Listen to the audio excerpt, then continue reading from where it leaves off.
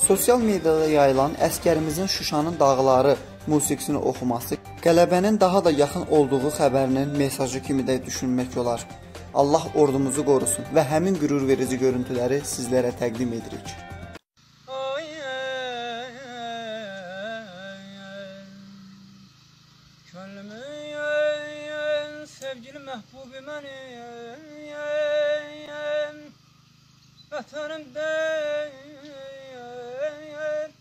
vatanım Vatanı yen, sevmeyen insan olmaz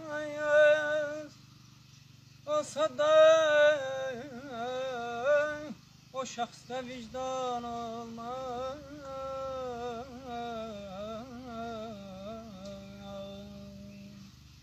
Arif olan sevgili canan vətəndir Hem namusu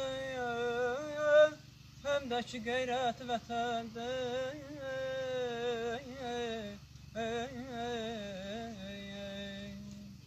Eğer ki sizden soruşsalar Mailin ünvanı haradır?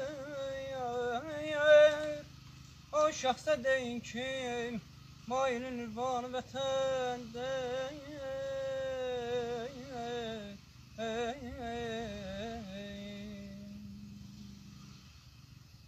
Şuşanın dağları başı dumanlı Kırmızı kaftanı yaşıl tumanlı Derdinden ölmeye çoktur cumanı Ay derdinden ölmeye çoktur cumanı Ay kız buna kaç kez Buna tez ölerim derdinden.